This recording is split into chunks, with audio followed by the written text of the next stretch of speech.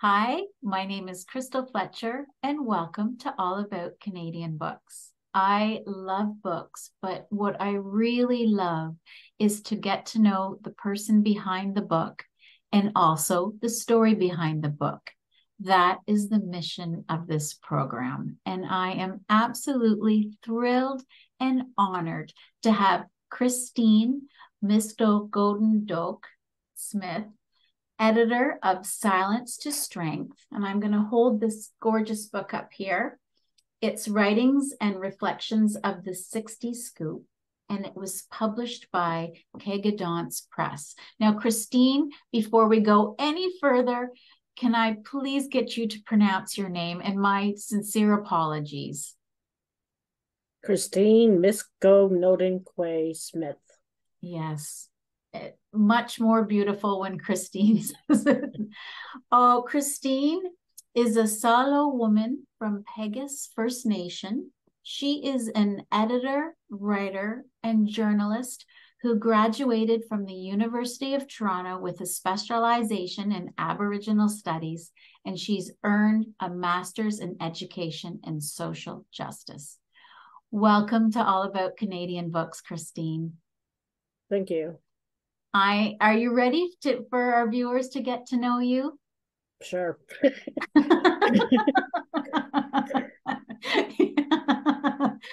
Christine, what brings you joy? Uh writing and reading. What would you say would be your most memorable career moment? Uh, when I got my memoir, these are the stories published. And congratulations. Thank you. What are you passionate about? Having people's voices heard um, so that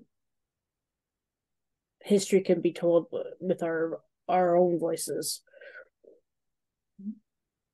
What book are you currently reading? Uh, I've got like a million on the go. um, right now I'm trying to get through Bearskin Diary by Carol uh, Daniels. Yeah.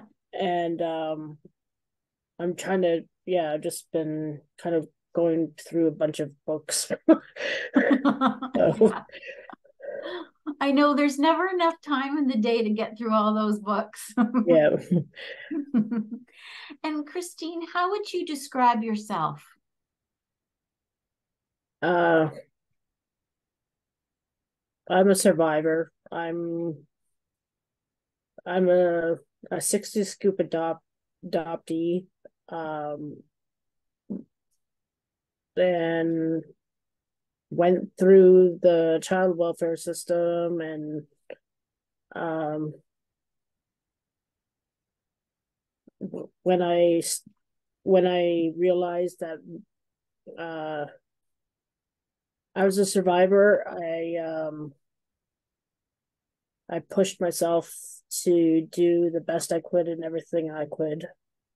And that meant um excelling at school, even though I went back as an adult.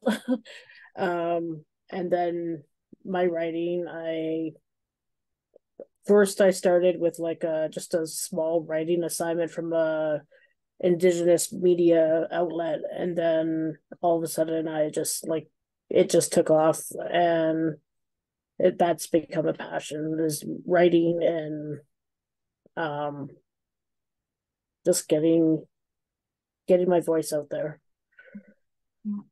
And you have a beautiful voice, Christine. Thank you.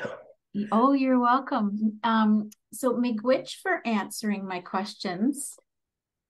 Can we talk about silence to strength? Yes.